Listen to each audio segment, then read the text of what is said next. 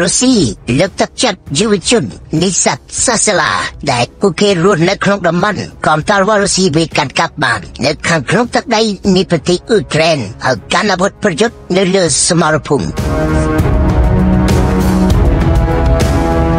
យោងតាមការចុះផ្សាយរបស់មជ្ឈមណ្ឌលតស៊ូជាតិនៃប្រទេសអ៊ុយក្រែនបានរំថារុស្ស៊ីគឺអាញាធររុស្ស៊ីកំពុងតែជ្រើសរើសសាសាឡារៀនយុវសិស្សនៅក្នុងតំបន់ដុតបាសដែលកងទ័ពរុស្ស៊ីវេកាន់កាប់បានជាពិសេសគឺនៅក្នុងខេត្តលូកាន់ក្នុងតំបន់នេះឲ្យកាន់អាវុធប្រយុទ្ធនៅសមរភូមិប្រឆាំងនឹងកងទ័ព អ៊ុយក្រែនកងទ័ពរុស្ស៊ីកំពុងតែប្រយុទ្ធរួចទៅហើយនៅតំបន់ដុនបាសប្រយុទ្ធជាមួយនឹងកងទ័ពអ៊ុយក្រែនដើម្បីវាយយកឲ្យបានតំបន់ដុនបាសពីដៃរបស់កងទ័ពអ៊ុយក្រែនអាញាធររុស្ស៊ីបានសន្យាថានឹងជួយឧបត្ថម្ភហេរ៉ៃវត្ថុកិច្ចការសង្គមទៅដល់គ្រួសារសាសាឡាទាំងនោះប្រសិនបើកូនចៅរបស់ពួកគេយល់ព្រម ការនពុតប្រយុទ្ធនៅសមរភូមិជាមួយគ្រីតនេះអាញាធររបស់រុស្ស៊ីក៏ដូចជារដ្ឋាភិ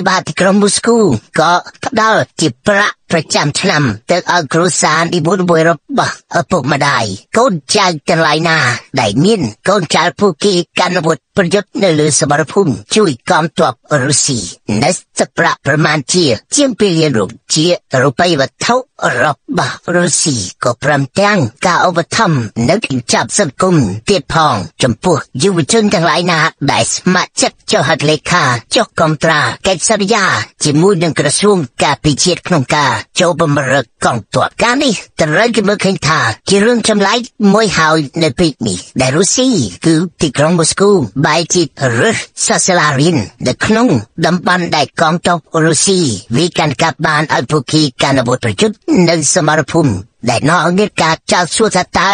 រុស្ស៊ីនៅពេលនេះកំពុងតែខ្វះធនធានប្រយុទ្ធមែនឬមជ្ឈមណ្ឌលតស៊ូជាតិនៃប្រទេសអ៊ុយក្រែនបានបញ្ជាក់ថាកងទ័ពរុស្ស៊ីនៅពេលនេះកំពុងតែប្រតិបត្តិការនៃការធ្វើចលនាវិលុក ខ្លាំងនៅក្នុងតំបន់ដុនបាសនេះជាពិសេសគឺនៅខេត្តដូណេកសក្នុងតំបន់ដុនបាសហើយជាមួយគ្នានេះអាញាធររុស្ស៊ីក៏ចាប់ផ្ដើមឃោសនាធ្វើកំណើនកងទ័ពចេញពីសាសាឡារៀនផងដែរមជ្ឈមណ្ឌលតស៊ូជាតិនៃប្រទេសអ៊ុយក្រែនបានចេញសេចក្តីថ្លែងការណ៍ដោយបានលើកឡើងថាសត្រូវរបស់អ៊ុយក្រែនកំពុងតែបំបុក សាសាឡាឲ្យធ្វើសង្គ្រាមក្បត់នឹងប្រទេសកំណែតរបស់ខ្លួនឯងជាមួយនឹងការប្រើប្រាស់ហិរញ្ញវត្ថុនិងឧបករណ៍ផ្សេងផ្សេងលើកទឹកចិត្តបញ្ចុះបញ្ចូលដល់សាសាឡាទាំងនោះសេចក្តីថ្លែងការណ៍របស់មជ្ឈមណ្ឌលតស៊ូជាតិអ៊ុយក្រែនបានលើកឡើងទៀតថាអាញាធរស៊ីបានកំពុងតែបង្ខំឲ្យសាសាឡាទាំងនោះចូលទៅ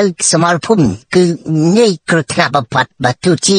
ពួកគេចូលទៅប្រយុទ្ធ គ្រាន់តែដើម្បីការចង់បានហេរ៉ាញ់វត្ថុមកឲ្យគ្រួសាររបស់ពួកគេគឺនេះជារឿងដ៏អាម៉ាស់បំផុតរបស់ពួកគេផងដែរបើសាសាឡាទាំងនោះសុខចិត្តការអាវុធប្រយុទ្ធនៅលើទឹកដីកំណើតរបស់ខ្លួនលោកមជ្ឈមណ្ឌលតស៊ូជាតិរបស់ប្រទេសអ៊ុយក្រែនបានបញ្ជាក់ទៀតថាគ្មានអ្វី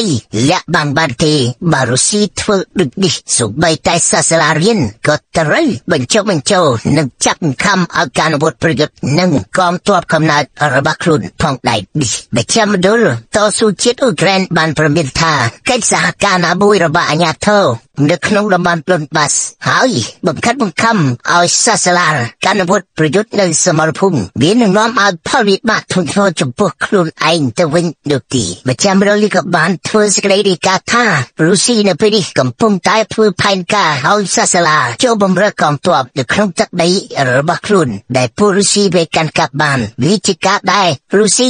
សាឡបងផងដែរអំពីតើតើសាសាឡាទាំងនោះមានការយល់ដឹងយ៉ាងណាចំពោះដែលពួកគេរស់នៅក្នុងតំបន់ប្របាហើយការអនុវត្តប្រយុទ្ធនិងកងទ័ពកំណើតរបស់ខ្លួននោះគឺកងទ័ពនៃប្រទេសអ៊ុយក្រែនតាមរូបភាពមួយដែលបញ្ចេញដោយសារព័ត៌មាន RBC អ៊ុយក្រែនមានរូបភាពសាសាឡាដែលមើលទៅមិនទាន់មានអាយុលើសពី15ឆ្នាំនោះទេពួកគេដូចជាឆ្លៀតពាក់ឯកសណ្ឋានរបស់កងទ័ពរុស្ស៊ីទៅហើយហើយអ្នកអ្នកខ្លះទៀតស្លៀកពាក់ឯកសណ្ឋានផងមើលសិភៅផងដូចជាពួកគេកំពុងតែប្រើប្រាស់ឯកសណ្ឋានកងទ័ពហើយបន្តការសិក្សាផងដែរបច្ចេកមណ្ឌលតស៊ូជាតិនៃប្រទេសអ៊ុយក្រែនបានដឹងគេថាប្រព័ន្ធឃោសនារបស់រុស្ស៊ីនៅក្នុងតំបន់ដូនបាសកំពុងតែឃោសនាយ៉ាងសកម្មអូទាញសាសាឡាទាំងនោះ ឲ្យកាន់អាវុធប្រយុទ្ធនៅក្នុងសមរភូមិនៃទឹកដីកំណើតរបស់ខ្លួនហើយថាសាសាឡាទាំងនោះមិនមែនមានតែអាយុត្រឹមតែ15ឆ្នាំនោះទេ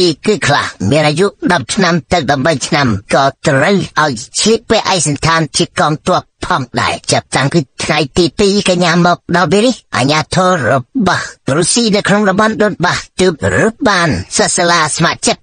240នាក់ប៉ុណ្ណោះប៉ុន្តែគេថាមានការចាប់បង្ខំសាសាឡាទាំងនោះទៀតផង Nesgate កាមើលឃើញថាបើដំណឹងនេះពិតជាការពិតមែនវាជារឿងចម្លែកមែនតែនហើយដែលរុស្ស៊ីកំពុងតែខ្វះធនធានការពិចិត្ររបស់ខ្លួនខ្វះធនធានប្រយុទ្ធនៅលើសមរភូមិរបស់ខ្លួនបែរជាទៅរុស្សាសាឡា ដែលមានអាយុត្រឹមជាង10ឆ្នាំឡើងទៅហើយកានបុតហើយបង្ហាត់បង្រៀនពួកគេវឹកវឺនពួកគេឲ្យប្រយុទ្ធនៅលើសមរភូមិគឺជារឿងដ៏អាម៉ាស់សម្រាប់វិមានក្រុមឡើងតែសូមជម្រាបថា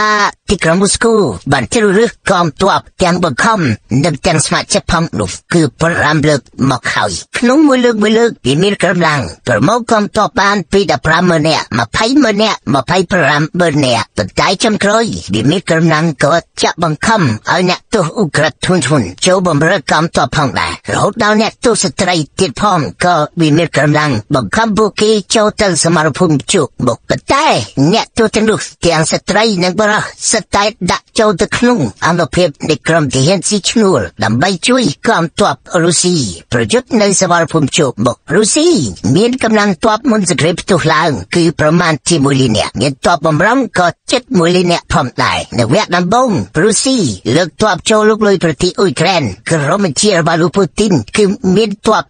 25ម៉ឺននាក់ដល់ខែកញ្ញាឆ្នាំ2022នៅពេលដែលរុស្ស៊ីបាក់ទ័ពនៅសមរភូមិធំធំចំនួន3នៅក្នុងប្រទេសអ៊ុយក្រែនហើយនៅពេលនោះគេថារុស្ស៊ីក៏ចាប់ផ្ដើមធ្វើកំណែកងទ័ពលើកដំបូងរុស្ស៊ីមានកងទ័ពប្រយុទ្ធនៅក្នុងដៃបើតាមប្រភពចារកម្មរបស់ពួកប្រចាំប្រទេសរុស្ស៊ីមានទ័ពប្រយុទ្ធនៅក្នុងដៃពេលសង្គ្រាមកំពុងផ្ទុះឡើងនៅវគ្គដំបូងនោះគឺអាចមានពី75ម៉ឺននាក់ឡើងទៅតែប្រភពចារកម្មរបស់ពួកប្រចាំប្រទេសដែលស្រង់មកចុះផ្សាយដោយទស្សនាវដ្តីអេកូណូមីឲ្យដឹងថារុស្ស៊ីអាចនឹងបាត់បង់ទ័ពបណ្ដាពេលនេះគឺហក់ឡើងជាង70ម៉ឺននាក់ហើយមិនតែប៉ុណ្ណោះសារព័ត៌មានរបស់អាមេរិក National Interest ចុះផ្សាយថាកំតររុស្ស៊ីកំពុងតែបាត់បង់ពី70ម៉ឺននាក់ឡើងទៅ ហើយនៅចុងឆ្នាំ2024នេះវានឹងកើនជាង70ម៉ឺននាក់បើសង្គ្រាមនៅបន្តផ្ទុះហើយកងទ័ពរុស្ស៊ីនៅបន្តបាត់បង់ជារិនជារៀងរាល់ថ្ងៃនេះដែលគេថារុស្ស៊ីអាចបាត់បង់ទ័ពក្នុងមួយថ្ងៃ1000នាក់ក៏មានផងដែរ